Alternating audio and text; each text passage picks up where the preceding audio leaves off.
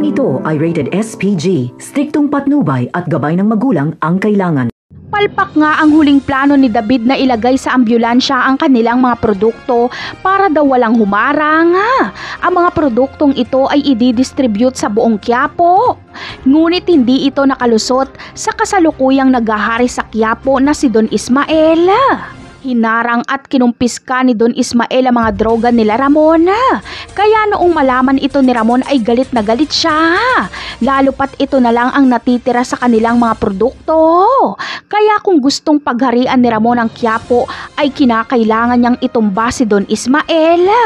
Sa kabilang banda naman ay tulad ng pangako ni Marcelo kay Latanggol ay makakalaya nga sila Tanggol. Imbis na umuwi sila sa kanilang mga bahay ay dederecho sila sa mansyon ng mga kabalyero.